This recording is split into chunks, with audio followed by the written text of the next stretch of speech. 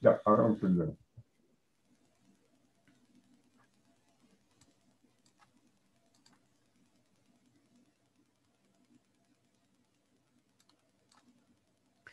Muy buenas tardes, eh, estimados cursantes del doctorado.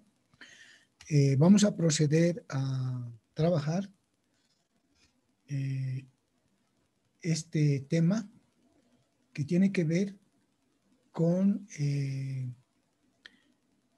mm, un abordaje de la filosofía, de este, los criterios de verdad eh, que es complementario a la primera clase que hemos tenido, de manera que aquí desarrollemos con mayor propiedad algunos aspectos y algunas categorías que tienen que ver con eh, la búsqueda de la verdad, como decíamos, y también con algunas posiciones respecto a la verdad. Principalmente uno de los temas que se va a desarrollar con mayor énfasis es epísteme y doxa. Bien, entonces comenzamos y podemos decir lo siguiente. Existen categorías que hay que tomarlas en cuenta en la búsqueda de la verdad, ¿ya? Y eh, podemos empezar diciendo de que eh, la filosofía la consideramos, ¿ya? Como una síntesis de la explicación racional del universo. Entonces, en esta primera propuesta que estamos eh, trabajando, está apareciendo un término que se, se puede destacar ya porque nos está hablando de la explicación racional del universo. ¿Qué quiere decir? Que el uso de la razón está incorporándose en esta forma de concebir la realidad. Y cuando hablamos de razón, más adelante vamos a ver de qué nos conduce a una postura filosófica que es el racionalismo. Entonces, de por sí, eh, hay un ingrediente que corresponde, filosófico, ¿no? Que corresponde a un racionalismo que va a estar presente eh, durante el desarrollo de los subsiguientes temas. Pero hay algo más que está apareciendo acá que también debemos mencionar, que es la reflexión del devenir. Cuando hablamos de la reflexión del devenir, estamos trabajando con eh, las propuestas dialécticas. ¿ya? Y en la dialéctica tenemos dos posibilidades, ¿no? Que también eh, debemos eh, considerarlas y trabajar más adelante. Una dialéctica que puede estar dentro de los términos del idealismo, ¿ya? Que destaca la subjetividad o la intersubjetividad en las personas cuando estamos frente a un objeto de conocimiento. Pero también tenemos la otra dialéctica que es objetiva, ya eh, que tiene que ver con la dialéctica materialista. Entonces hay dos posibilidades de la dialéctica eh, y cuando hacemos eh, investigación doctoral, más que todo se conoce con un término que es el término sociocrítico. ¿ya? Hay un paradigma sociocrítico que también de alguna manera influye en lo que va a ser el marco epistemológico de una tesis doctoral. Pero aquí nosotros le estamos dando una explicación más, o es de la, la dialéctica que nos va a conducir a posicionamientos idealistas, o es la dialéctica que nos va a conducir a posiciones objetivistas que tienen que ver más que todo con el materialismo dialéctico, ¿ya? o podemos decir con la dialéctica materialista. Entonces, eh, siempre van a aparecer posicionamientos, ¿no?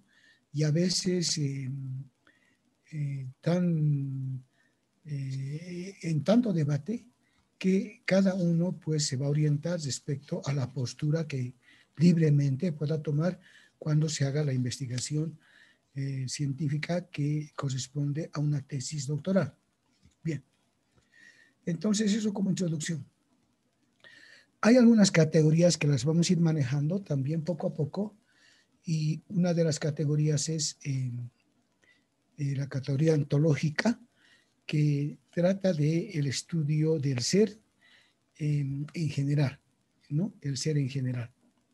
Es decir, las propiedades que tienen ser, Y muchas veces aquí también podemos encontrar algunos, eh, algunas posturas interesantes, porque si tratamos de estudiar los entes, podemos también estar trabajando dentro de lo que se ha denominado la metafísica, es decir, lo que está más allá de la física. Por ejemplo, ¿qué es la materia? ¿Ya? Es una interrogante tan grande sobre el ser que nos puede llevar a posturas metafísicas o decir qué es el espacio-tiempo, ¿ya? ¿Qué es un proceso? ¿Qué es el alma? Entonces también podemos derivar en ese sentido cuando eh, estamos tomando el estudio del ser desde una perspectiva metafísica. En el tema del valor ya, eh, ya no hay mucho, mucho conflicto porque eh, la axiología el estudio de los valores nos permite también comprender lo que en algún momento es válido eh, para una cultura, podríamos decir, ¿no? los valores que están vigentes, que seguramente con la sucesión del tiempo también pueden ir transformándose. ¿ya? Hay valores muy vigentes, muy reconocidos en un espacio eh, en, un contexto determinado y en un tiempo determinado. Pero como hay sucesión del tiempo y también estamos ante diversidad de contextos, entonces pueden haber otros valores también eh, que puedan influir en este tema de la axiología. Bien, el conocer ya nos acerca al, al contenido principal, al tema principal, mejor podemos decir, de, del módulo que es la epistemología. Entonces, cuando conocemos la verdad, ¿ya? Y a partir de la investigación, ¿no? Entonces podemos considerar que estamos en el plano epistemológico. Entonces, eh, porque todo lo que tengamos que conocer tiene que tener validez y certeza validez científica si estamos hablando de la epistemología. Y el conocimiento en general es más que todo eh, analizado y estudiado por la nociología. En cambio, la epistemología, como hemos dicho, tiende a explicar los conocimientos a partir de garantizar la validez científica del conocimiento. Entonces, eh, hay alguna alguna diferencia ¿no? entre nociología y e, e, epistemología. Entonces podemos decir que la epistemología eh, está en su origen etimológico, viene de conocimiento y de logos. Episteme, conocimiento. Logos, teoría. Entonces podemos decir que la epistemología es la teoría del conocimiento. Y como decíamos, nos permite trabajar en la naturaleza, el origen y la validez del conocimiento. Entonces estamos hablando de un conocimiento científico, ¿ya? Eh, en relación a ese término eh, que es la epistemología. Bien. Y seguiremos eh, comentando ese término y podemos decir que la epistemología es la teoría del conocimiento científico, como decíamos en la anterior diapositiva. Y también podemos extender a las teorías de las ciencias. Y también podemos conocer como filosofía de la ciencia. En cambio, nociología, y hemos mencionado, es la teoría general del conocimiento. Entonces ya no hay esa exigencia de que sea conocimiento científico, sino teoría general del conocimiento. Bien. Eh, la epistemología nos permite mm, analizar los supuestos ontológicos, ¿no? Entonces, ¿cuán verdadero será lo que yo estoy asumiendo eh, respecto a algo que tiene que ver con el ser? ¿Ya? Entonces, analizaré esa idea que tenga ¿no? Y puedo, a partir de un análisis epistemológico, puedo o no puedo aceptar. Les daré un ejemplo. ¿Será que las piedras tienen sexo? Cuando a veces escuchamos, ese es un supuesto ontológico de algo que corresponde a una materia que son las piedras. Entonces, muchas veces podemos aceptar ese supuesto ontológico, pero si nosotros empezamos a hacer alguna, uh, alguna reflexión epistemológica, o podemos aceptar o podemos desechar esa idea, ese supuesto ontológico de que las piedras tengan, eh, estén diferenciadas eh, por el sexo. ¿ya? Entonces, ya, ya les digo, podemos aceptar o podemos rechazar. Dependerá en la postura epistemológica en la que nos encontremos. ¿Ya? Si hacemos uso de la razón, entonces estamos dentro de un racionalismo, quizás no aceptemos. ¿Ya? Pero si estaríamos dentro de un posicionamiento pragmático y esa idea nos es favorable, quizás la aceptemos. ¿Y por qué puede ser favorable? Porque estaría de acuerdo a un razonamiento eh, que eh, va mm, de alguna manera convencer, ¿ya? Y bueno, si eso nos es útil, podemos aceptar. Pero ya desde un punto de vista racionalista, quizás no. Por eso dependerá en qué postura epistemológica estamos para aceptar o no aceptar un supuesto ontológico. Bien. La epistemología también nos permite examinar las condiciones y posibilidades de la ciencia. ¿Ya? Miren, hace 200 años era imposible pensar en temas que ahora nos preocupan, como es la física cuántica. ¿Ya? En el, digamos, eh, a niveles micro de los, del componente de la materia o también nos hubiese sido difícil aceptar la crisis de la identidad de la partícula. En cambio, eh, en este tiempo la posibilidad es mayor porque podemos entender que la partícula en ciertas condiciones a veces se comporta como materia y a veces como energía. Pero ha tenido que pasar mucho tiempo para tener esas condiciones de eh, aceptar lo que hemos llamado la crisis de la partícula. Entonces ya es otro tipo de física, ya no es la física mecánica, sino estamos dentro de la física cuántica. Y podemos así seguir comentando algunos aspectos epistemológicos. Eh, podemos reflexionar sobre la validez histórica de los acontecimientos. Entonces, hace 600, 700, 800 o más años, aceptábamos que, y era un conocimiento aceptado, que la Tierra era plana. Entonces ha tenido validez histórica para ese tiempo. Pero ahora han cambiado los conocimientos y ya no podemos aceptar que la Tierra es plana, ¿no? O que podemos ser el centro del universo. Entonces, miren, ha tenido que Copérnico darnos una, otra interpretación. En la búsqueda del centro. Y últimamente, eh, ya con el pensamiento complejo, eh, ya también ponemos en duda porque nos dicen que el universo, el universo es policéntrico, que no hay un centro alrededor de lo, eh, del que gire todos los astros. Entonces, por eso podemos decir, hay que reflexionar sobre la validez histórica de los conocimientos.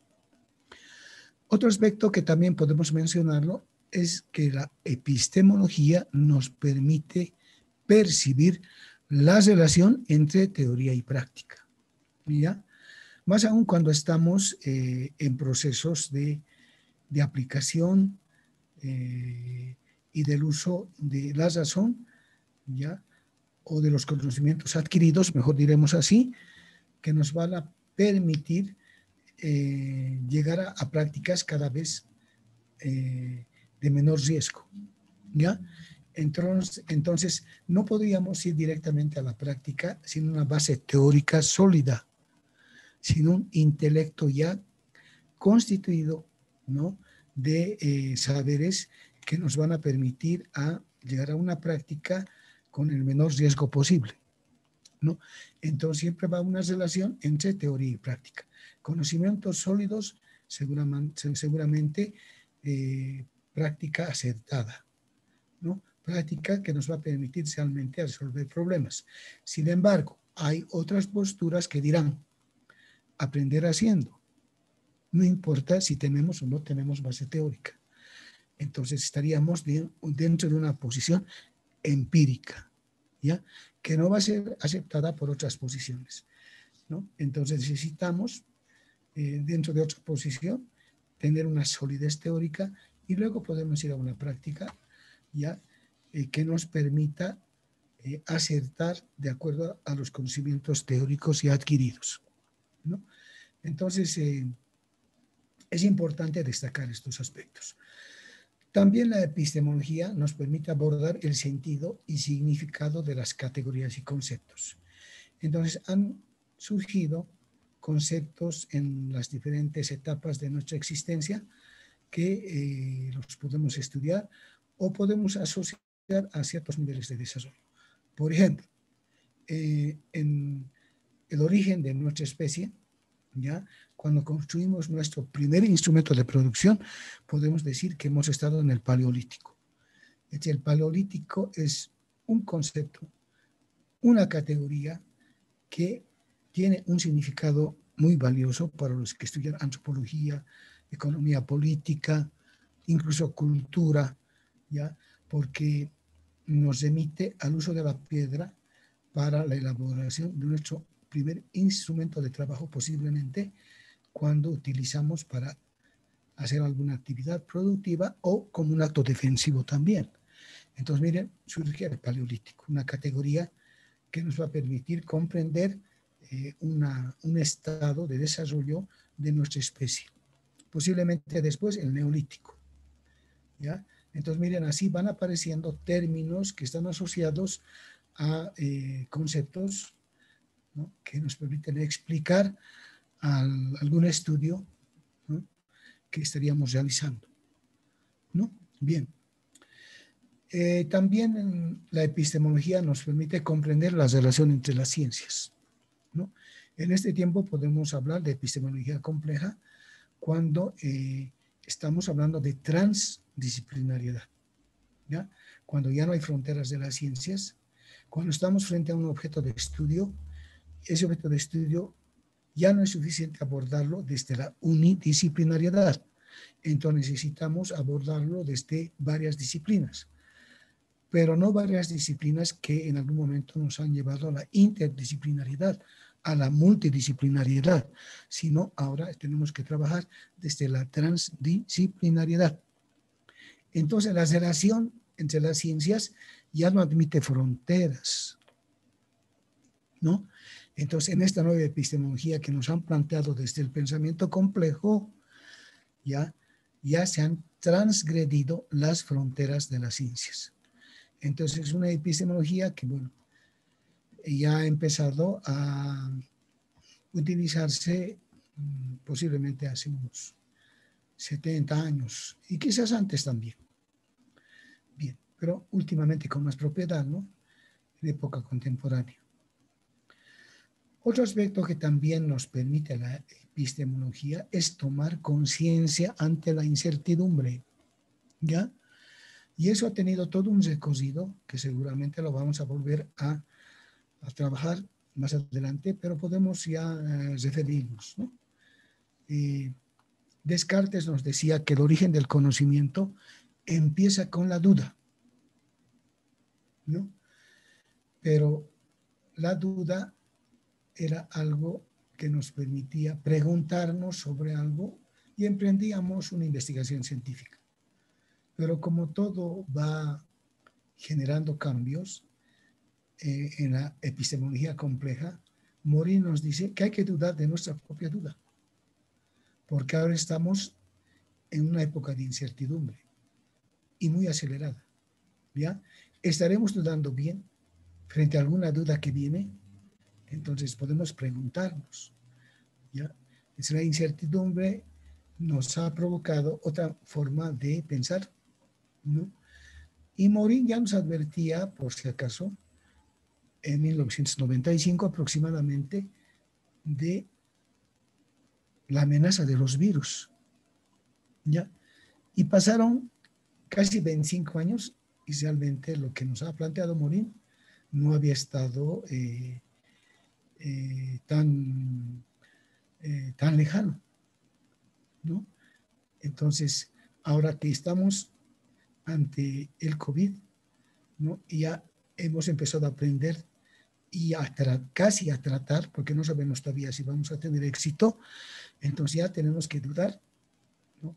más allá de la primera duda, porque ¿en qué acabará este, esta amenaza de los virus?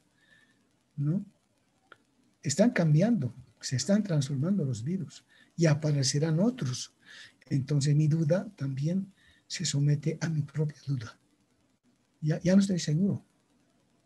¿no? Entonces, eh, ¿por qué? Porque estamos ante la cada vez mayor incertidumbre. Bien, entonces eh, ya con estos antecedentes podemos empezar a trabajar el concepto de ciencia. Este es un primer abordaje de ciencia. Podemos decir, sistema de conocimiento sobre la naturaleza la sociedad y el pensamiento. ¿Ya? Entonces las ciencias duras, las ciencias sociales, podemos decir, y también el pensamiento, eh, eh, que donde están las humanidades, ya que puede estar considerado como sistema de conocimientos también.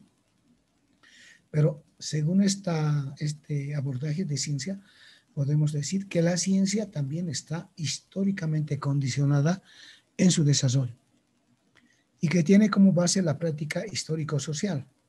Bueno, cuando hablamos de histórico y unimos a lo social, necesariamente estamos refiriéndonos a etapas que han caracterizado el desarrollo histórico de la sociedad.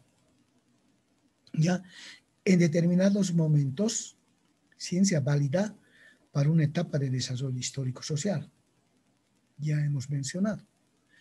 En otras etapas, ya cuando el conocimiento ha sido mayor, ¿no? determinadas aceptaciones para la ciencia de acuerdo al desarrollo histórico social del conocimiento en esa etapa.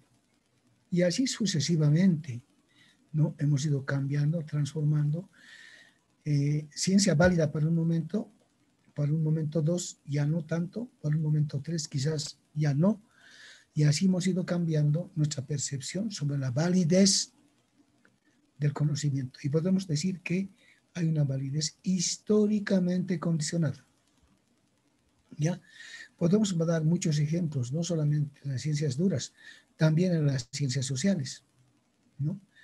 Entonces, eh, esto nos remite a que eh, tengamos que también analizar el desarrollo de la ciencia de acuerdo a su reconocimiento histórico, de acuerdo a su condicionamiento histórico. Bien, pero también podemos definirnos a otro concepto de ciencia. Y aquí van a aparecer algunos aspectos más en relación a la ciencia conjuntos de conocimientos sistemáticamente estructurados. Ya, está bien, ¿no? Pero susceptibles de ser articulados unos con otros. Entonces, ¿qué nos está sugiriendo? ¿No? De que los conceptos pueden ser integrados con otros conceptos. Esos conocimientos pueden ser integrados con otros conocimientos. ¿Ya? Entonces, eh, nos estamos acercando a una definición ya Mm, mucho más reciente, que es de la transdisciplinariedad, pero aquí encontramos ya un, una, una, forma nueva de concebir la ciencia, ¿no? Cuando integramos conocimientos. Y podemos ya tener una idea de cómo la ciencia nos va a conducir a procedimientos para encontrar, para encontrarla, ¿no? A partir de al, algún proceso de investigación. Entonces podemos decir, La ciencia surge de la obtención del conocimiento mediante la observación. ¿Pero observación de qué? De patrones regulares. Es decir, cosas que se van repitiendo. ¿Ya? Entonces, eso nos permite aceptar esa regularidad con la que pueden presentarse algunos eventos, algunos fenómenos. Y no solo eso, ¿no? Podemos decir observación de patrones regulares de razonamientos y de experimentación, ¿no? Entonces, esos patrones regulares nos conducen a formas de pensar, de razonar, haciendo uso de la razón, Pero también para verificar la validez de ese razonamiento y de ese patrón regular, nosotros acudimos a un método que es la experimentación en ambos específicos. ¿No?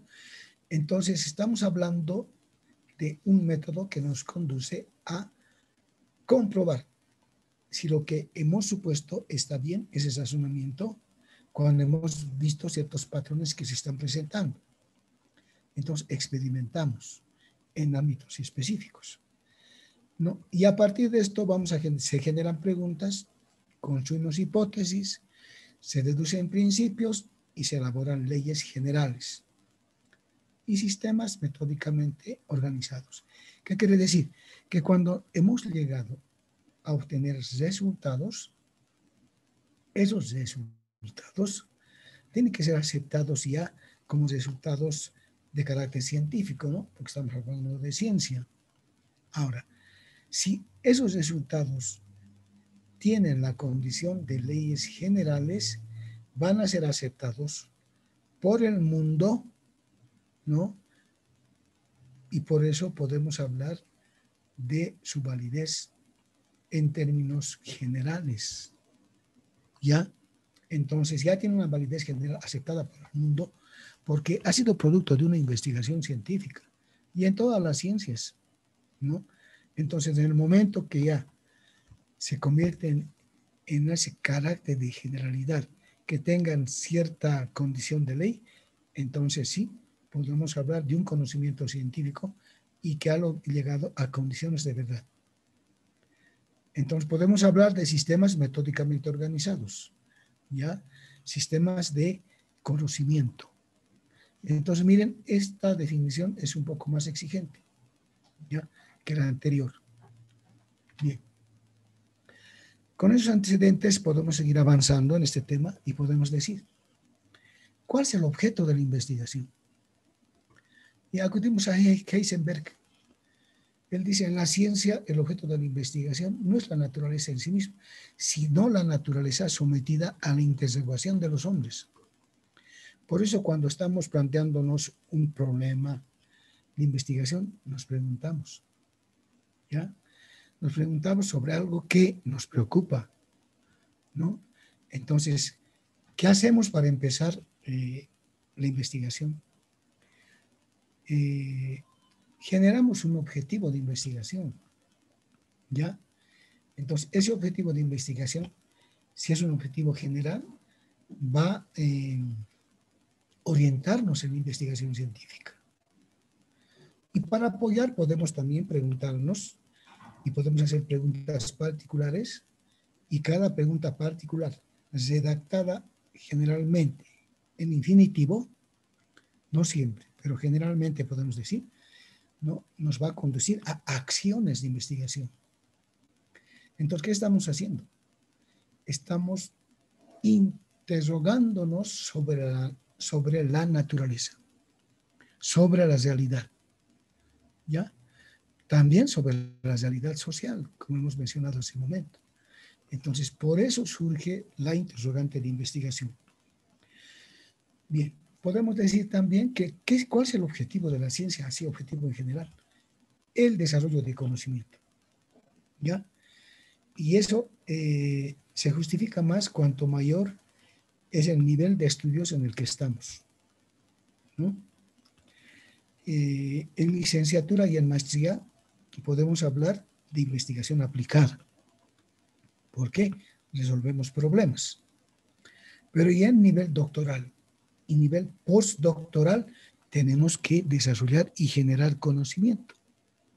Ahora, tampoco podemos cesarnos a que resolvamos problemas, pero es más apropiado considerar de que en el, nivel doctoral y en el nivel postdoctoral tenemos que generar conocimiento. Entonces, es algo que, eh, como estamos en un programa doctoral, debemos tomar en cuenta. ¿ya? Pero de alguna manera, si todavía queremos hacer investigación básica para resolver un problema, podemos hacer. Pero tiene que ser una investigación que realmente tenga eh, importancia. ¿Ya? De que tenga una importancia y principalmente podemos dar una recomendación. ¿Ya?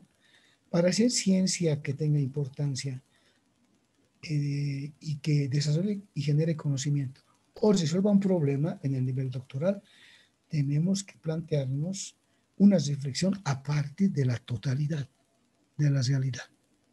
¿Ya?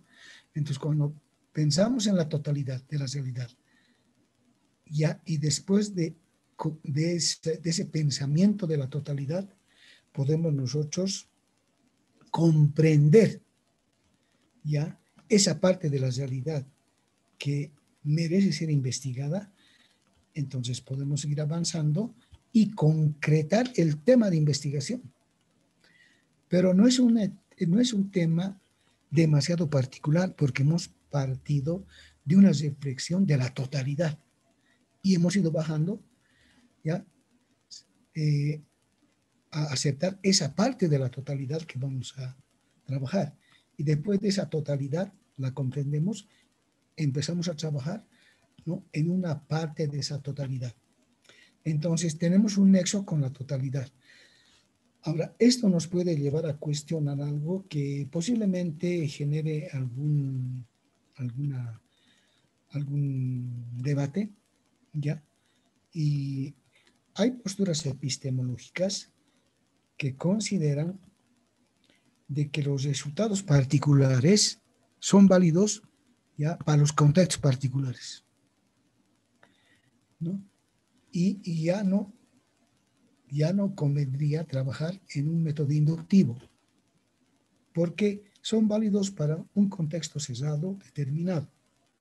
Entonces, ahí cuestionan los resultados de una investigación cuando no se puede generalizar el resultado. ¿Ya? Puede ser válido en una región, pero no válido para el mundo. Entonces ahí puede encontrarse un cuestionamiento y además una fricción epistemológica. ¿Ya? Digo fricción porque los debates entre los epistemólogos son demasiado eh, contundentes. Si tienen que decirse algo, se dicen. Entonces, para algunos no será válido y para los otros que defienden es válido, dirán. Porque esa es la lectura de una realidad, de un contexto determinado. Entonces van a, van a defender esa idea, ¿ya? Y la van a defender con todos los argumentos que tengan. Pero para quien está en una situación de objetividad y podríamos decir dentro de un realismo, ¿ya? O de un positivismo, como Mario Bunge o como Popper, pues será válido para un contexto determinado, pero eh, bien difícil se podrá aceptar si es que no tiene validez de carácter general que pueda ser aceptado por el mundo. Entonces ya les digo, siempre habrá este tipo de discrepancias, ¿ya? Y dependerá dónde uno se sostiene para poder defender un posicionamiento epistemológico sobre los resultados de cualquier investigación. Bien. Podemos hablar de eh, investigación científica. Ya vamos a utilizar eh, estas ideas de Murillo Hernández. ¿Qué nos dice Murillo Hernández? Es la actividad de búsqueda que se caracteriza por ser reflexiva, sistemática y metódica. ¿Ya? ¿Estamos de acuerdo? ¿Para qué? Para obtener conocimientos y solucionar problemas. Ahora, ¿qué tipo de problemas? Científicos. ¿Ya? Miren, problemas científicos. Pueden ser filosóficos también, o empírico-técnicos y se desarrolla mediante un proceso. Bueno, cuando hablamos de empírico-técnicos estamos hablando ya del máximo nivel de lo empírico-técnico. ¿Qué significa? Lo tecnológico. Ya estamos hablando ya de lo tecnológico. No, podríamos referirnos a una simple técnica, sino estamos hablando ya a un nivel tecnológico. Y cuando hablamos de un nivel tecnológico, nos estamos refiriendo a esos métodos productivos donde se ha incorporado conocimiento y ciencia. ¿Ya? Cuarta revolución industrial, podemos decir, como ejemplo. ¿no? La mecatrónica, podemos decir. ¿no? Entonces, miren, ya son eh, temas eh, que en este tiempo tenemos que interpretarlos así. Bien, podemos seguir analizando eh, a Murillo Hernández en lo que es investigación científica. Dice, es la búsqueda intencionada de conocimientos o de soluciones a problemas de carácter científico, ¿no? Eh, ¿A partir de qué? De la aplicación del método científico, ¿no? Entonces el método científico nos va a orientar, indica el camino por el que vamos a ir, eh, hacer indagaciones, vamos a utilizar técnicas ya precisas, ya de, de manera que nos permitan encontrar resultados. Resultados. No estamos hablando entonces del método científico. Cuando hablamos del método científico, vamos a encontrar también diversidad de posibilidades respecto al método científico. Voy a comentar uno, y ya lo hice en realidad, eh, quizás no, no con existencia, que ahora lo voy a plantear. Hay un método científico que, se, eh, que es el recorrido, más que todo dicen, el ascenso de lo abstracto a lo concreto. ¿Ya? ¿Qué quiere decir? que para llegar a un resultado, ¿no? Tenemos que partir de una abstracción. Y esa abstracción está constituida de todos los saberes intelectualizados que tenemos. ¿Ya? Si estuviéramos, digamos, en el campo de, de, de la física o de, claro, de investigaciones físicas, ¿cómo no vamos a tener un dominio ya muy profundo del desarrollo de las matemáticas? Porque eso, eso vamos a aplicar en las reflexiones, eh, en las ecuaciones, qué sé yo, que tengan que ver con el mundo físico, ¿no? El más claro ejemplo es la ecuación de, de eh, a ver, eh, de Einstein, ¿no es cierto? Entonces, son ecuaciones. Si no tuviéramos nosotros una base sólida matemática, bueno, no vamos a poder entender. ¿no? Pero eso es en todas las ciencias. ¿no? Si yo tengo que hacer una tesis, decir, de, a ver, me voy a ir a, a campo dialéctico. Si yo tengo que hacer una tesis de la diversidad productiva que existe en Bolivia en cuanto a la contribución del Producto Interno Bruto, puedo adoptar un posicionamiento dialéctico. ¿Ya? Porque el posicionamiento dialéctico, no solamente del materialismo dialéctico, sino del materialismo histórico, me va a permitir comprender la diversidad de desarrollo tecnológico o de desarrollo productivo de las diferentes regiones del país. Voy a entender por qué Oriente es así, ¿no? ¿Por qué el sur es así? Quizás por los hidrocarburos. ¿Por qué el occidente es de esta manera? Entonces, miren, utilizo dialéctica, tanto la dialéctica materialista como el materialismo histórico, y fácilmente me voy a dar cuenta el nivel de desarrollo de las fuerzas productivas que cada región tiene para caracterizar sus logros y alcances productivos. ¿Ya? Entonces, ¿cuál será mi método que utilizar? Método dialéctico. Quizás método histórico. ¿ya? Y hasta sociocrítico, si es que utilizo la vertiente dialéctica materialista, ¿no? No la otra vertiente dialéctica que me va a permitir solamente reducirme a hacer eh, una encuesta, una entrevista, donde las subjetividades van a dar su parecer a partir de la lectura que tienen la realidad. No, yo necesito datos más objetivos. ¿Ya? Quizás voy a hacer análisis documental y voy a tener que hacer eh, encuestas a personas que conozcan este tema. ¿Ya? Porque tengo que lograr la mayor objetividad posible en las respuestas que yo quiero obtener. Entonces voy a acudir a especialistas en estos temas que tengan que ver con el desarrollo productivo. Entonces, miren, dependerá por eso de qué tesis estoy haciendo para elegir determinado método. ¿Ya? Eh, la investigación acción no creo que me sirva. ¿Ya? No creo que me sirva. Porque eso es subjetivo, eh, subjetivo intersubjetivo. respeto ese tema, me puede servir para otros temas, pero para lo que he planteado como tema no me va a servir. Porque yo tengo que tener resultados a partir de eh, la consistencia objetiva de cómo estoy abordando mi investigación. Bien. Entonces, miren, podemos hacer muchos, poner, eh, incluir muchos ejemplos. Es interesante cuando buscamos ejemplos. Ahora, ya con esos antecedentes podemos seguir insistiendo. La búsqueda de la verdad nos lleva a la búsqueda de las razones, de los fundamentos de la ciencia, que ahora constituye la epistemología. La epistemología.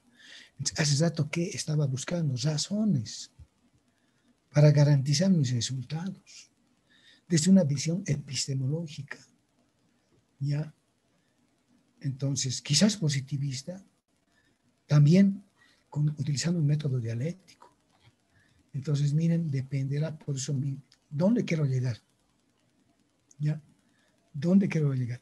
No puedo yo garantizar mi investigación a partir de lo que la gente cree. No puedo tengo que ir a una investigación donde obtenga datos objetivos. En, otros casos sí puedo ir al otro extremo, pero para el ejemplo que he puesto no me va a servir. Entonces seguiremos, ¿no? Los ejemplos a veces nos permiten eh, abrir temas de debate, donde no todos podemos estar de acuerdo, porque así es este, este, este ya siempre eh, genera eh, muchas reacciones. O se está, o pueden, se puede también poner en tela de juicio lo que se está expresando. Bien. Entonces podemos seguir insistiendo, las ciencias salieron de la filosofía, pero todavía hay algo que une a la, a la filosofía, que son las razones y fundamentos que se estudian por la filosofía de las ciencias que hemos denominado epistemología o teoría del conocimiento científico. Teoría del conocimiento científico. Bien. Entonces, conocimiento científico. Ya hemos, hemos, hemos hablado, reiteramos, su primer atributo es la validez. ¿Ya? ¿Es válido lo que estoy eh, teniendo como resultados? ¿Ya? Entonces, miren, Primer atributo del conocimiento científico, la validez. Es más, todavía puede ir más allá. En este tiempo es válido lo que estamos trabajando como diseño curricular en cualquier carrera. ¿Ya? ¿O hay que revisar? ¿Y por qué hay que revisar? Porque el conocimiento se duplica ya no pues en 20 años, ya no en 10 años, ya no en 5 años, se duplica cada año y algunos dicen cada meses. Entonces, miren en qué celeridad el mundo se encuentra. Y podemos hacer una crítica constructiva. ¿Qué voy a hacer cuando durante los procesos de evaluación y acreditación me encuentro con carreras que tienen 20 años de estudio que no han cambiado sus planes curriculares? a quién han perjudicado y por qué no han actualizado. Hay conocimientos pues que ya están siendo superados y en 20 años lo que habrá cambiado o lo que se habrá complementado. Por eso les digo conocimiento científico. Primer atributo, la validez. Bien, ya hemos dicho producto de la aplicación de métodos de investigación. Y siempre necesidad de lograr un conocimiento verdadero. Epistemología, ¿no? Bien, entonces podemos seguir avanzando en este tema. Es apasionante. ¿Ya? En la búsqueda del conocimiento se encuentran siempre frente a frente conciencia y objeto. Es decir, sujeto y objeto. Entonces el conocimiento se va a manifestar como una relación entre sujeto y objeto. Esa relación podemos también mencionarla como una actividad investigativa. Sujeto, actividad de investigación, investigación científica, utilizando métodos de investigación para poder comprender lo que es un objeto. ¿Ya? Entonces podemos decir que la función del sujeto es aprender al objeto y la del objeto en ser aprehensible y aprendido por el objeto, o por el, perdón, por el sujeto. Entonces hay una relación sujeto-objeto, mediante que comprendemos, que entendemos mediante una actividad. Esa actividad se llama actividad de investigación. ¿Ya? Bien. Entonces, eh, podemos decir sujeto-objeto. Si el sujeto no emprende una investigación, es un ser pasivo. Alguien dirá, alcanzará la condición de sujeto cuando actúe sobre el objeto para comprenderlo o para resolver un problema. ¿Ya? Entonces, eso le da la condición de ser sujeto. Bien. Insistimos en lo que eh, hemos eh, trabajado al principio y vamos a ver otras cosas más. El concepto de la verdad siempre estará presente, ¿ya? Pero hay algo más que está apareciendo. Está ligado al conocimiento de la esencia del objeto, que supera la apariencia, ¿ya? Entonces podemos nosotros tratar de conocer un objeto solamente a partir de lo que parece ser, no a partir de lo que realmente es porque lo que parece ser eh, es un primer abordaje y ahí podemos utilizar un primer método que eh, un, eh, podemos utilizar un enfoque descriptivo ya y nos podemos quedar en la descripción de un objeto. Y cómo describimos a partir generalmente de los sentidos describimos en lo que parece ser. Ya, la sensación va a jugar un papel muy importante. La sensación es un primer proceso psíquico, ¿no? Entonces, así como lo vemos, así como lo tocamos, así como lo sentimos, estamos haciendo uso de los sentidos. Lo que en algún momento Piaget llamaba la etapa preoperacional. ¿Ya? Entonces nos quedamos en ese nivel puede ser que nos conduzca a un error, porque no todo lo que parece ser realmente es. ¿Ya? Entonces podemos tener un error. Para superar ese error, ¿qué tenemos que hacer? Penetrar en la esencia del objeto. ¿Ya? Ya no quedamos en la apariencia, sino entrar a la esencia. Y cuando estamos a la esencia, nos equivocamos menos. Pero aún así vamos a seguir comprendiendo y comprendiendo y comprendiendo al objeto cada vez más. ¿no? Entonces, conocer la esencia es conocer, conocer las partes del objeto, las relaciones que existen entre las partes, las interacciones entre las partes. Entonces estamos penetrando a la esencia del objeto. Entonces no nos quedemos en la apariencia, no en lo que parece ser ¿no? de acuerdo a lo que podemos sentir, ver del objeto, creer del objeto. No, estamos haciendo investigación científica. Tenemos que penetrar en la esencia del objeto. Bien. Entonces podemos decir conocimiento verdadero es conocimiento cierto. Conocimiento falso es error o ilusión. ¿No? Entonces muchas veces estamos cesados o nos ilusionamos con algo que creemos que es y la verdad que no. Ojalá sea, pero a veces no es lo que pensamos que es. Para eso necesitamos investigación científica para corroborar que realmente sea lo que hemos pensado que es. Bien.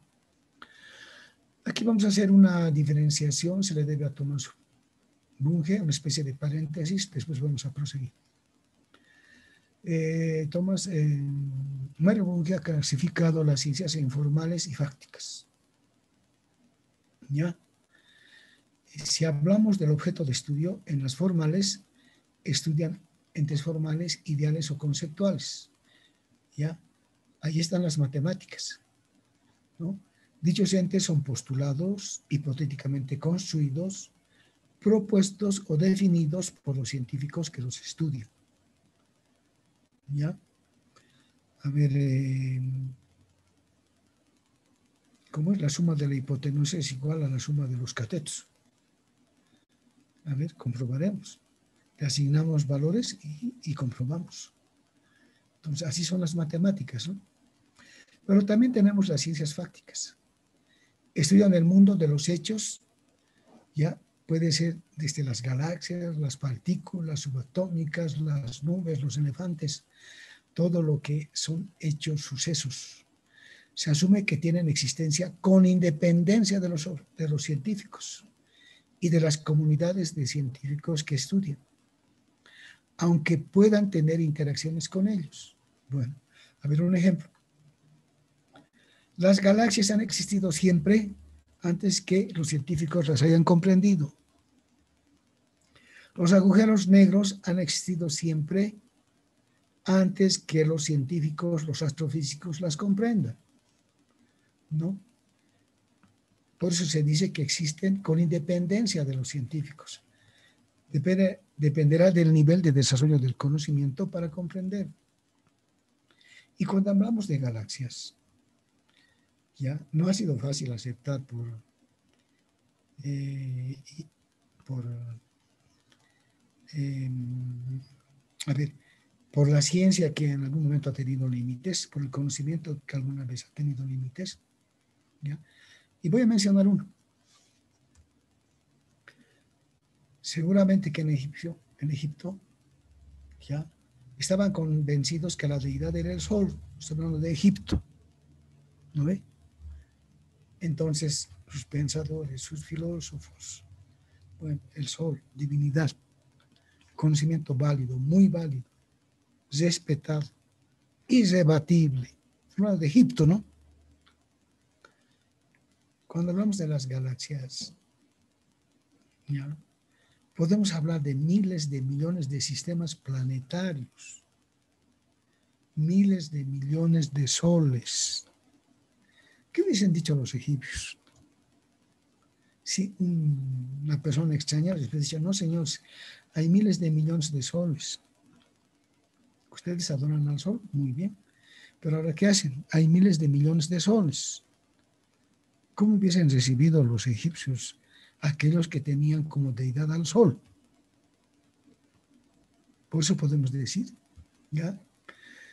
que en las ciencias prácticas hay existencia de las ciencias con independencia, es decir, de los saberes, de los conocimientos o de las realidades o de los hechos, ya con independencia de, de lo que piensa el científico en un momento determinado o de las comunidades que los estudian.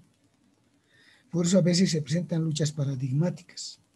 Un paradigma vigente interpreta la realidad en cualquier disciplina de una manera. Viene otra comunidad científica y destruye. ¿Ya? Paradigma emergente destruye un paradigma decadente.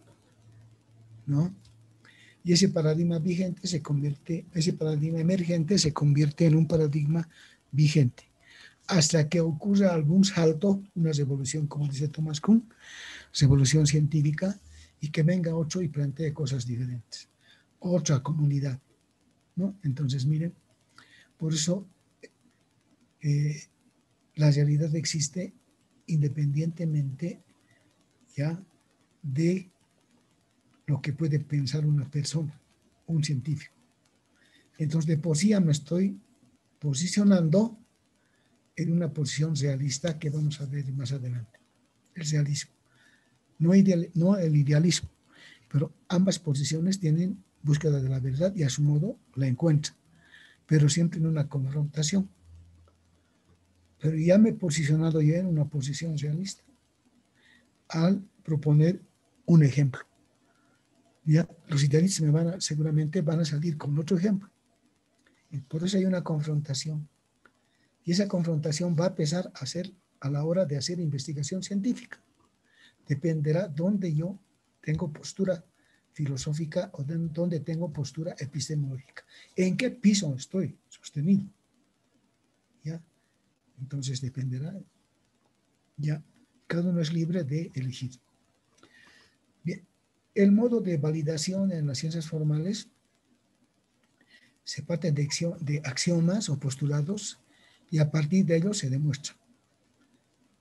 ¿Ya? Entonces, ya hemos hablado ya de, eh, de Pitágoras, el triángulo. Se demuestra, le asignamos valor y demostramos así tan fácil como nos han enseñado en la escuela, ¿no? posiblemente en la primaria, ¿no? Ya, entonces los axiomas, los axiomas son relativos a un contexto. ¿Ya? Eh, pero sus conclusiones adquieren grados de certeza y se pueden generalizar. Eso es lo importante en las ciencias formales. ¿ya? En las fácticas, se trabaja a partir de las consecuencias observacionales que derivan de las hipótesis, conjeturas e ideas propuestas. ¿Ya? Juzgan sobre su adecuación al trozo de la realidad que se pretende describir o explicar. Y el resultado será provisional hasta que surja otro conocimiento que supere. Entonces puede haber un resultado sujeto a corrección y revisión, pero por un tiempo será válido, hasta que no haya alguna debilidad de ese mismo conocimiento. Popper nos va a plantear ¿no? la falsabilidad. Conocimiento válido hasta que alguien no le encuentre una debilidad y pueda someter a crítica, entonces ese resultado es falsable. Popper nos ha planteado no solamente la demostración de la hipótesis, ¿no? sino que se esté sometido el resultado a pruebas de falsabilidad. Apenas se encuentra uno ya no es conocimiento cierto, ya no vale. Muy radical, Popper. Bien. El objetivo que se persigue, las formales buscan la coherencia interna, buscan la, buscan la verdad lógica y necesaria. Las fácticas procuran describir y explicar hechos y realidades, ¿no? Y persiguen la verdad material o contingente. Entonces podemos seguir avanzando. Esto es de Mario Bunge, ¿no? Estamos reflexionando con Mario Bunge y también nos ha planteado Mario Bunge esta división de las ciencias. Las formales considera que está la lógica y la matemática. Y en las fácticas, lo social y lo natural. ¿Ya? Eh, en lo social tenemos la sociología, economía, ciencia política, historia, eh, historial material, dice, ¿no? O historia de las ideas, todo lo que eso es lo social que seguramente faltan algunas. Eh, en lo natural, la física, la química, la biología, la psicología individual. Pero también hay una, hay, hay mixtas, ¿no? Eh, por ejemplo, la bioeconomía, la psicología social, la demografía, que tiene que ver con temas económicos, con asentamientos, hasta con temas de, biológicos, porque la gente se va porque eh, el tema de su conciencia biológica le obliga y no puede soportar frío o no puede soportar mucho calor. Entonces hay, un, hay, una, una, ah, apertura hacia otras regiones. entonces también pueden haber eh, esto que tiene que ver con lo biosocial. Mario Bien, volvemos a nuestro hilo conductor.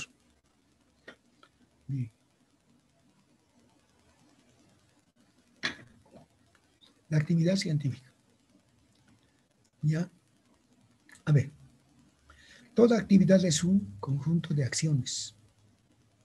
Acciones que se siguen en un determinado orden.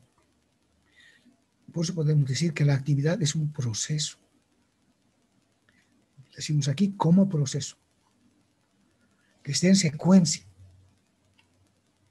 ¿Ya? ¿Ya? Pero también eh, podemos eh, también hacer retroalimentación, ¿no? Ir de un fin y volver a un principio. Pero ahora estamos hablando de un proceso que se sigue con cierto orden, ¿no? Con cierto orden. Entonces, como proceso, se planifica la investigación en la búsqueda de la explicación científica. Eso que, que eh, ¿cómo conocemos en este tiempo? Como perfil. ¿Ya? Entonces, todas las ideas que tenemos sobre algo, las escribimos. Ese es el perfil de investigación. Siempre partimos de la descripción de un problema. Lo planteamos al problema con una pregunta. Definimos objetivos y los métodos que vamos a utilizar.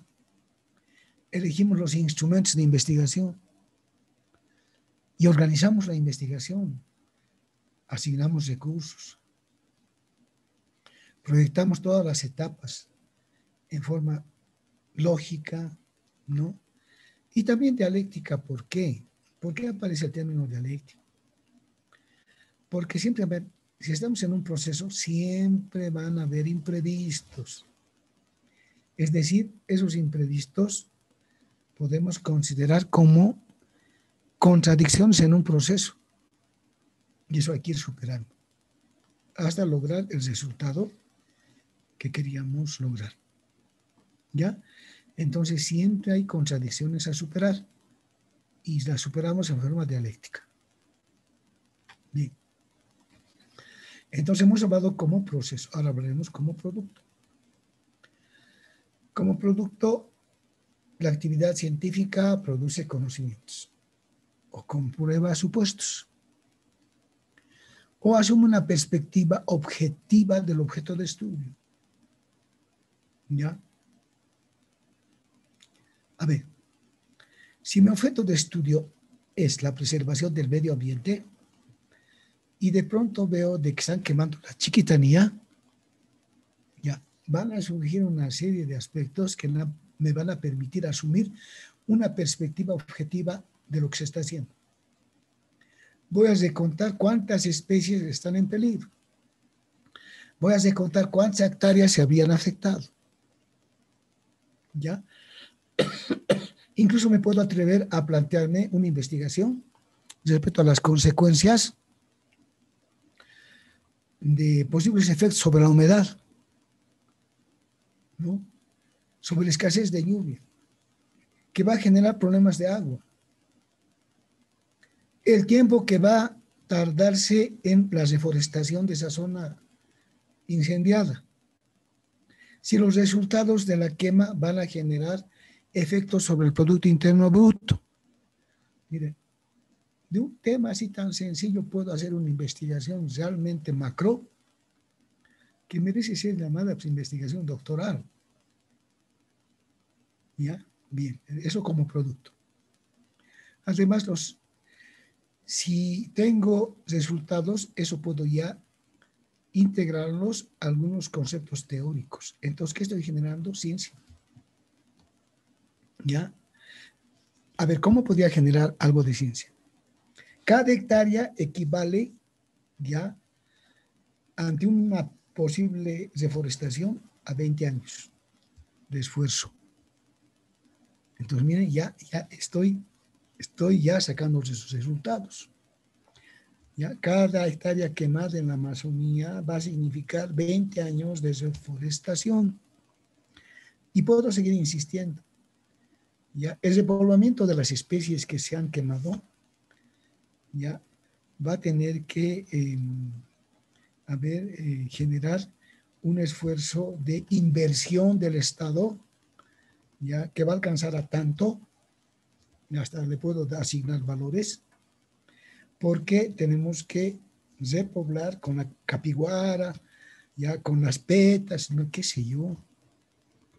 Entonces miren cómo puedo lograr resultados, inclusive algunos preceptos teóricos, a partir de un hecho que estoy investigando. Bueno. Y así es la investigación, y así debía ser. Entonces, como producto, contribuye a explicar, predecir y transformar la realidad. ¿Ya? Entonces, ¿para qué me sirve ese conocimiento? Para resolver algún problema. ¿Para qué me sirve esa teoría? Para aplicarla en algún momento que se, se quiera. Entonces, como producto, es interesante también pensar, ¿no?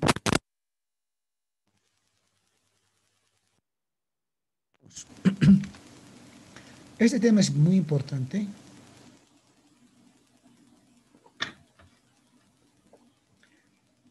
Puede llevarnos a confrontación, ¿ya? Pero tenemos que avanzarlo. Es necesario. Doxa y epísteme. Vamos a partir de los griegos porque los griegos nos han dejado mucho legado. ¿Ya? Los griegos distinguían al filósofo y al erudito ambos amantes de la sabiduría. Pero ¿qué decía? El erudito solo describe los fenómenos, ¿ya? No los conoce a fondo,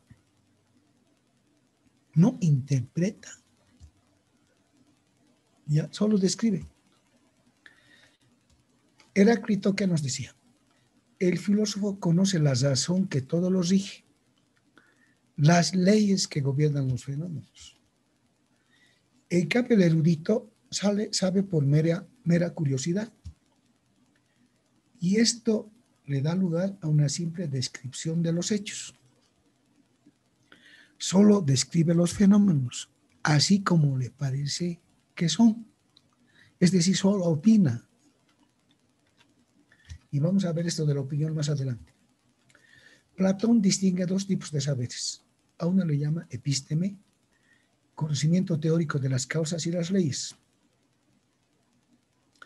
O sea, verdad descubierta mediante el proceso de investigación. El otro saber, que es el doxa, según Platón, es un conocimiento común y cotidiano. Doxa se traduce como opinión. El erudito se ocupa de la doxa. Distingue también la epísteme de la tejide ¿Qué es conocimiento teórico y práctico? También incluyendo leyes. Toda técnica, para que sea una técnica alejada de lo empírico, también necesita estar respaldada por saberes. ¿Ya? Si no es puro empirismo. Y no podemos, si es puro empirismo, es doxa. ¿Ya? Entonces, estamos en la academia, no podemos quedarnos en el doxa. Bien un poquito más de doxa. Parménides utiliza para distinguir la vía de la verdad de la vía de la opinión. Es cuando las personas opinan con sentido común, no académico, es doxa. ¿Ya? Es doxa. Y la verdad es que permanentemente escuchamos y lo último que hemos escuchado de Doxa. Hay que discutir sobre la autonomía universitaria. Ha, habido un problema. Hay tal y cual cosa. Sin saber lo que es la autonomía universitaria. Sin saber la tradición de la autonomía universitaria. Sin saber que en la Universidad de Bolonia eran los estudiantes que organizaban esas casas del saber. Ya y después, bueno, la Universidad de París ya fueron los dos, ya los maestros y los estudiantes. Y después ya, pues, eh, las universidades a cargo de los maestros. Pero miren, sin saber, eh, a ver, los pormenores de la primera convención universitaria en Cochabamba de 1929, cuando se plantearon ya cosas demasiado profundas que hasta el día de hoy algunas no podemos cumplirlas. Entonces, ¿cómo me puedo atrever a, por sentido común, ¿no? Y por una opinión de algo que le parece que es así, ¿no? discutir en otros niveles, no en los nuestros, el tema de la autonomía. Ese es un sentido común, una opinión, es doxa. Hay que conocer la autonomía en la profundidad, lo que significa, y la proyección de la autonomía, que seguramente la vamos a discutir a partir de lo que nos ha pasado. Entonces ya le estamos dando un tratamiento epistemológico, no doxa. ¿Ya? De manera que resolvamos los conflictos que se presentan de la mejor manera y con sentido académico, porque ha llegado la hora ya de hacerlo, porque estamos entrando, ya estamos en la tercera década del siglo XXI. Ya estamos entrando a la cuarta revolución industrial. Y después viene la quinta revolución industrial y posiblemente la sexta. Entonces tenemos que plantearnos una discusión en, al interior de la universidad con la profundidad necesaria, no doxa, sino epistémica. Y así los ejemplos los podemos dar. Bien, entonces la doxa se trata de un conocimiento aparente y en consecuencia engañoso. ¿Ya? Así decían pues los griegos, Ya decían, y es más que todo producto de los sentidos. Y como decíamos, se queda en la apariencia. Entonces hay un dualismo epistemológico entre doxa y episteme, que ahorita lo vamos a ver. Pero a ver, la episteme penetras a las causas y fundamentos de las cosas. Depende de la naturaleza misma, ¿no? De los objetos y no de construcciones artificiales. Entonces trata de un conocimiento pleno, total, no fragmentario ni parcial. Y su referente es la realidad. Entonces el episteme es un conocimiento cierto, verdadero, explicativo, bien fundamentado, organizado sistemáticamente y riguroso. Lo que se espera que sea fruto de la razón y producto del mundo de las ideas. Estamos entonces ante un dualismo, ante un dualismo epistemológico. ¿Ya? Entonces dependerá dónde también nos posicionamos y cada uno es libre de hacerlo. Porque en la universidad somos libres pensantes. Bien. Episteme, ya hemos repetido, conocimiento por lo racional. Comprensión cognoscente, interviene la dianoia, se conocen los objetos matemáticos, ¿ya? Y también podemos hablar de la dialéctica, ciencia del pensamiento, se conoce la esencia de las cosas, los griegos decían la noesis o la gnosis con G. Entonces intenta descubrir la verdad mediante confrontación de argumentos. Estamos hablando de la dialéctica, tesis, antítesis y síntesis. ¿Ya? Algo que es muy conocido, siempre puede alojar contradicciones, desde la antítesis hay una confrontación y va a siempre surgir algo nuevo y renovado. Bien, nuevos conocimientos, nuevos saberes. La doxa, conocimiento por lo sensible. ¿Ya? Entonces los sentidos van a jugar un papel muy importante. Vuelvo a decir, Piaget, la etapa preoperacional. ¿ya? Pero en algún momento descubrimos el ex al cuadrado. Eso ya no vemos. O descubrimos la integral. Eso ya no vemos. O entendemos lo que es el PIB, el Producto Interno Bruto. Eso no vemos. O entendemos lo que es oferta-demanda. Lo que es globalización entonces, miren, ya estamos en otro lado. Eso no vamos a ver. ¿Ya? Entonces, mal podíamos opinar sobre estos temas si no los hemos estudiado. entonces nos quedamos, nos emitimos en la icacia, en las conjeturas o conocimiento cotidiano, le podemos decir, ¿no? En los libros muchas veces encontramos conocimiento vulgar, pero trataremos de evitar ese término peyorativo. Conocimiento de sentido común, no podemos decir. Opinión de sentido común, para no utilizar ese término. En la doxa hay creencia. ¿Ya? Entonces, mi conocimiento es así como yo lo entiendo. Es una plena subjetividad. El pistis. Dualismo epistemológico, ¿no? Bien. Esto es iterativo. Ya, entonces vamos a pasar. Y algo más veremos. Ciencia, entonces, es relacionado con episteme, conocimiento teórico. Pero hay algo más, conocimiento aplicado a tecnología. Tecne. Tecne, ¿no? Conocimiento teórico y práctico. Es decir, cuando la ciencia, ¿no? La aplicamos en alguna solución de nuestro problema, entonces es tecnología. ¿Ya? ¿Por qué no hemos podido resolver rápido el problema de, que nos afecta y nos ha hecho estragos el COVID-19? No hemos tenido en el país por descuido, desde hace muchos años, de UTIs, ya, unidades de terapia intensiva.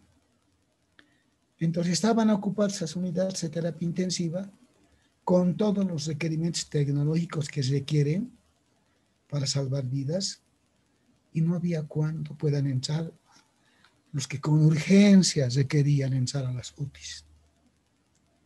¿Por qué? porque nuestro país se ha rezagado en la disponibilidad de UTIs, de unidades de terapia intensiva, pese a los tantos recursos que hemos tenido por la venta de los hidrocarburos. Entonces, salud no ha sido tomada en consideración en primer lugar y las consecuencias las hemos vivido. Y no solo aquí, en los países hermanos, ¿Ya? Miren, y los ejemplos, los ejemplos son múltiples, ¿no? Porque ¿para qué nos sirve estas teorías si no acudimos a una interpretación o reflexión de nuestra realidad? ¿Ya? Habría que ver en Bolivia cuántas vacunas ya hemos aplicado. ¿Ya? Y seguramente, bueno, ojalá fueran unos 50 mil o algo más. ¿Cuántas vacunas ha aplicado Chile? Deben estar ya por los 3 millones, o por lo menos 2. Entonces, ¿qué pasa? Hay un avance tecnológico mayor, mayor capacidad hospitalaria, mayor especialización.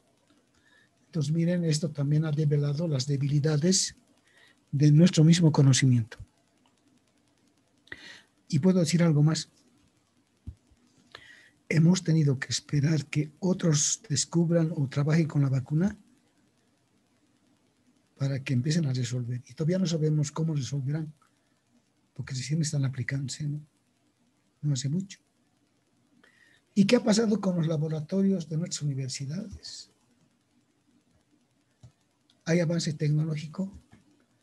hay conocimiento teórico que haya generado aplicaciones prácticas en el tema de la, del COVID-19. Entonces, miren, lo peor que podemos hacer es engañarnos.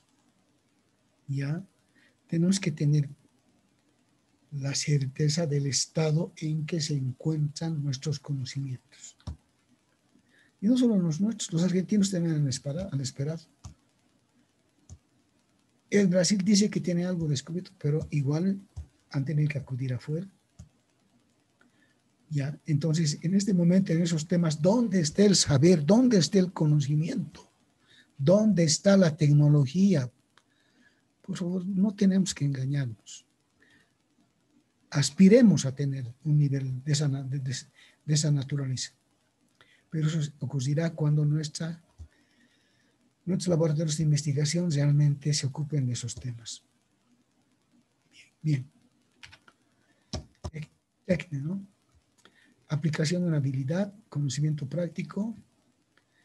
Y hemos dicho, para llevarlo a cabo se necesita tener conocimiento teórico y del más alto conocimiento. Para los problemas que estamos confrontando. Capacidad de producir objetos materiales conforme con un logos verdadero. Logos. ¿Ya? Y ahora podemos hablar de artefactos tecnológicos, producto de la cuarta revolución industrial, ¿ya? de la revolución de la información y la comunicación, de la virtualidad. Entonces, miren, estamos ya en una época que ya tiene que ver con la cuarta revolución industrial. Y si haríamos un análisis de nuestro país, veríamos qué regiones están entrando y cuáles están lejos de entrar. Entonces tenemos que reconocernos. Si no, nos engañamos. Y no conviene engañarnos porque estamos en la academia. Creo que ya estamos terminando. Las ciencias salieron de la filosofía, pero todavía existe un cordón umbilical, ya, ya hemos dicho, que son las razones y fundamentos que se estudian por la epistemología o filosofía de las ciencias o teoría del conocimiento científico. ¿Ya? Entonces, insistimos, la naturaleza y validez científica del conocimiento que señala la epistemología es una condición esencial a considerar en los procesos de investigación científica. ¿Ya? Es decir, que tengan validez científica. Entonces, eso debe también hacernos reflexionar, porque como consecuencia de los estudios de doctorado tenemos que garantizar la validez de la investigación científica de lo que hagamos como tesis doctoral. ¿Ya? Bueno, dependerá si realmente lo logramos o nos quedamos a medio camino. Cada uno será consciente de lo que va a lograr. Y como nadie hay que obligar, somos personas libres, iremos hasta donde quisiéramos ir. Volvemos a repetir, ya estamos terminando. Conocimiento verdadero es conocimiento cierto. Conocimiento falso es error o ilusión. Conocimiento científico es sistemático, verificable, racional, crítico, objetivo y generalizado. ¿Ya? El saber común si es aparente, es acrítico. Y también puede ser particular y no generalizable. Bien. Bueno, muchas gracias. Hemos hecho un recorrido eh, con estas diapositivas. Seguramente que tenemos mucha reflexión que hacer. No importa si esto va a generar alguna controversia. Estamos en un módulo de epistemología entonces siempre van a haber confrontaciones entre las diferentes posturas epistemológicas. Bien, muchas gracias, les agradezco su atención y espero que em, se genere ya reflexión, una relación dialógica de intercambio de ideas, intercambio de posiciones, porque estamos en un nivel doctoral. Les agradezco mucho, muchas gracias por su participación. Gracias.